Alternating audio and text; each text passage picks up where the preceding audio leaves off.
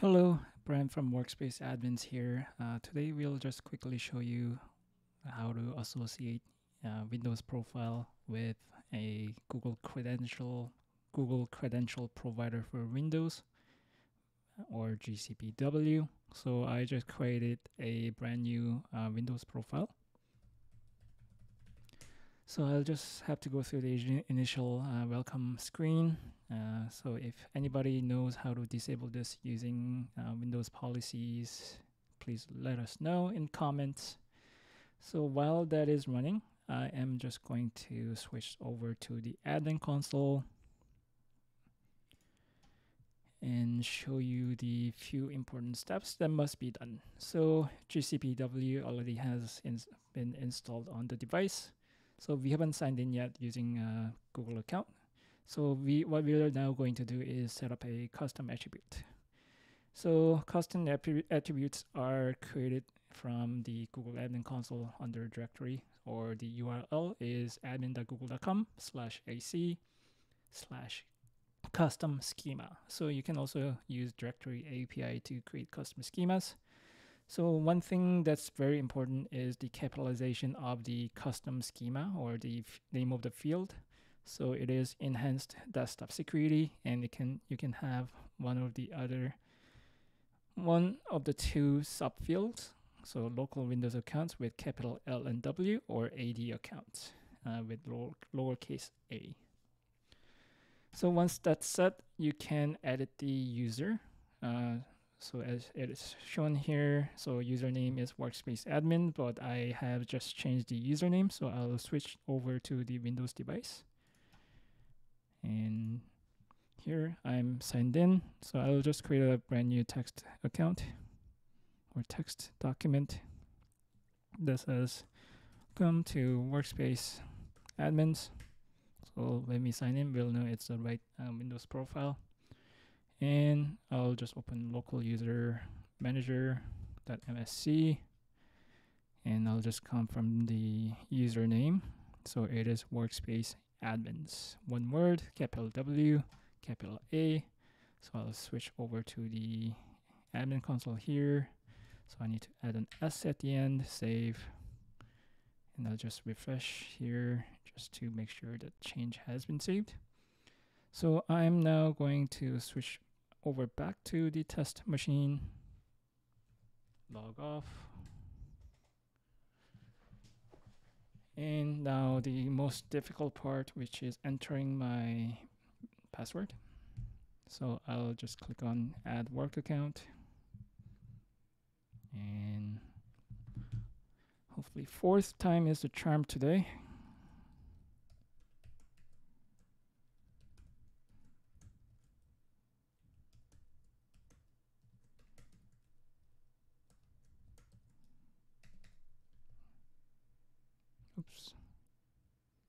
I'll need to enter my email first.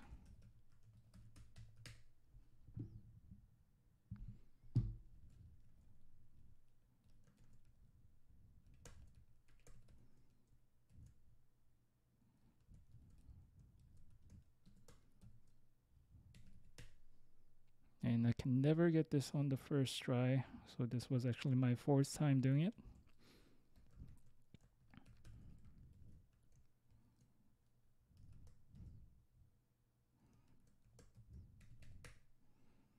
Second try usually works. One thing to note that security key doesn't work on the Windows sign-in screen. So I have been told that this is a Windows uh, limitation.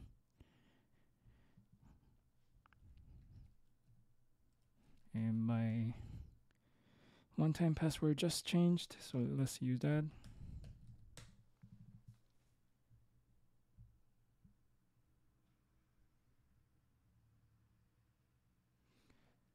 So now I'll just enter my Windows password and that will sign me in.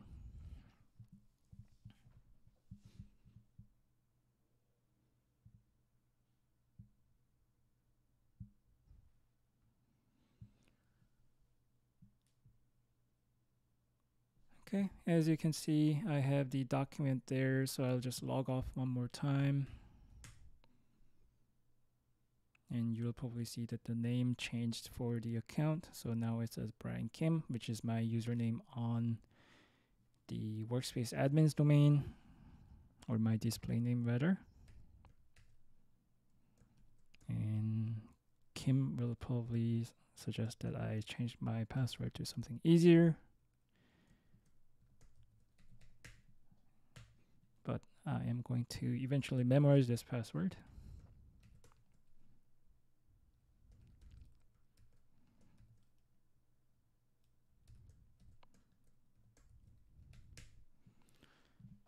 I don't know what it is. I always get it on the second try, never the first. So now, you, as you can see, the account association has been completed as it should.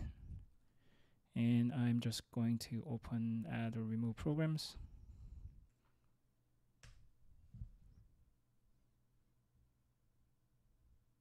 Just to confirm the versions of Chrome and GCPW that I am running.